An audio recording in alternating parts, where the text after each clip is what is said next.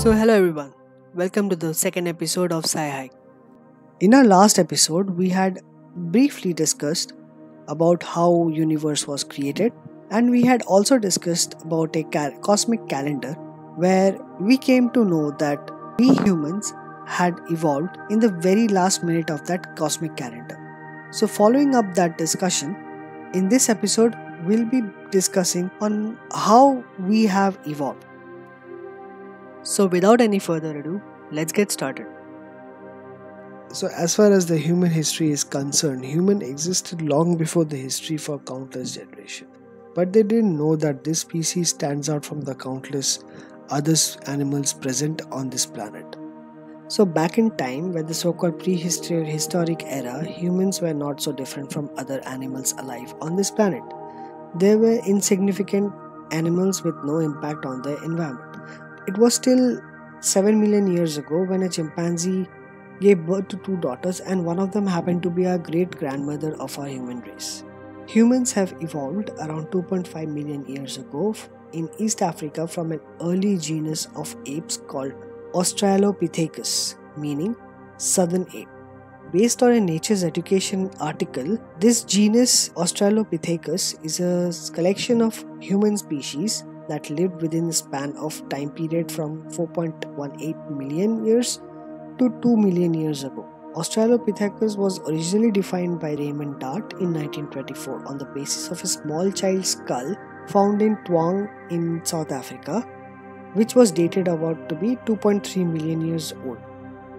This species was the first terrestrial bipedal species. By that I mean is that this species was the first species to walk on two legs. So this was just after the evolution of humans around 500,000 years later some archaic men and women moved started to move from the eastern part of the Africa towards the northern side of the Africa. And they further go gone beyond the Africa towards uh, Europe and southern part of the Asia as well. So this movement was a very slow process and took around millions of years, during which some humans had undergone certain changes in their body structure, like humans who have moved towards the more snowy and mountainous region needed a bulkier body structure with more muscles and they needed to be strong as compared to the others who were surviving in the jungles. Basically, this gave rise to the six different species of humans that existed all together on the same planet but were not aware of each other's presence. Which brings us to our next part of discussion, starting with the Homo neanderthals, the man of the Neander Valley.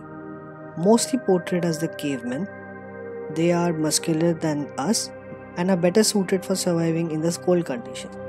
According to researchers, this species of human had lived in Eurasia until about 40,000 years before going to extinct. Along with them, there was another human species that was living on the mountains.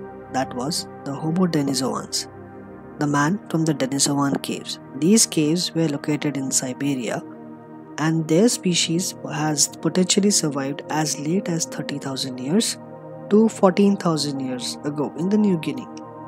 These Denisovan caves were originally discovered by in 1970s by a Russian paleontologist Nikolai Ovodov.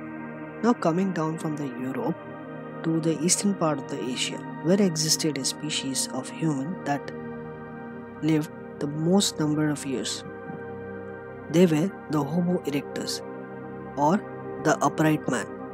They lived for around 2 million years, making it the most durable human species ever.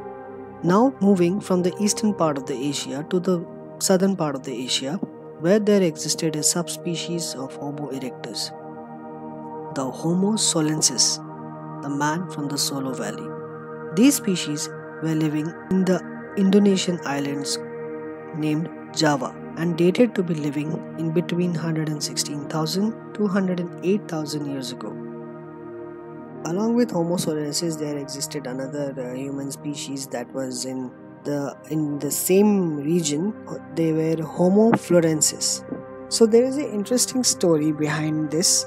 Is that few human species that moved to the island named Flores in Indonesia, and they were stuck down there because of the high tides of the sea and they couldn't come back. So, following that, the the resources on the island were depleting, and the bigger humans or the hu- humans with the bigger size require more energy, as in more resource to survive. So they were started becoming extinct, and the humans were who were shorter in size, who required lesser resources to survive, were more favored. So, as we have learned, as we have discussed about the five different species that were coexisting together on the planet, so there was another species that is the species of ours, the Homo sapiens, the only existing human species. So, what exactly the Homo sapien means? Homo means humans and sapien means wise.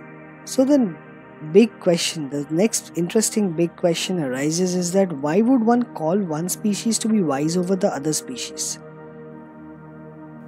To answer this question, one has to be go beyond 70,000 years ago when one of the three revolutions of the history kickstarted, the cognitive revolution. So what exactly is cognitive revolution? This was a movement that has started in 1950 where the scientists perform the study of brain. Like uh, how do we think? How do we process our emotions? How do we plan? Etc etc so like i mentioned earlier that our ancestors the southern apes had a slightly bigger brain as compared to their ancestors. If we take this as an analogy that bigger the brain size the wiser you are then shouldn't the neanderthals or homo neanderthals would be the wisest person on this planet and wouldn't they be shouldn't be they be surviving on this till now? For homo sapiens the brain size comprises only 2 to 3% of the whole body weight which consumes around 25% of the whole body energy. The archaic men used to divert their energy in two directions. First for searching for food and secondly their muscles got wasted at that for more than 2 million years, the human neural network grew. And another thing that happened over this period of time is that human trait started to walk upright, which has eased them to scan the savannah and freed their hands or arms to throw, signal, and do other stuff. So, this brings us to the next part of our discussion that is building of social skills among human population. The upright gait was handy for some individuals, but females paid an extra price for it. Most of the deaths of females occurred during the childbirth due to constriction of birth canals. Women who gave birth to infants with small heads and brains lived longer to give birth to many more. But the natural selection favored the earlier situation of premature babies. Human babies were helpless, dependent on elders for their protection, food, education, and sustenance. This situation helped in developing social skills among humans. Raising children requires a constant support from other members of the family. Since human babies were born underdeveloped, they could be educated and socialized to a far extent than any other animal. Now, moving on to our last part of our discussion, that is how developing tools have affected the human evolution. Earlier human used rocks to cut or break the bone. The question comes in mind why bones? Because during those times, humans were below the food chain. Let me tell you by an example. If a lion hunts a bison, so it will finish it first. Then, the hyenas will come and finish its portion. After that, the humans would scavenge from the remainings. The first production of the hand axes and other large cutting tools were dated around 1.76 million years ago. With this development of tools, the human jumped up the food cycle. They were able to hunt animals easily. Furthermore, they were able to weave their clothes. During 500,000 to 300,000 years, Homo sapiens were using fire on a daily basis. This became a dependable source for humans, as it became a source for their light, a source for keeping them warm, and it also acted as a weapon against deadly animals. The best thing that happened was to cook food. Cooking food killed germs out of the raw meat and it reduced the chewing time of the humans, leading to an extension of a long teeth. With this, we come to an end of this episode. I hope you all have enjoyed. And I leave you with a question How would this world look like if all the human species were coexisting. Do let us know in the comment section below and stay tuned for our next episode.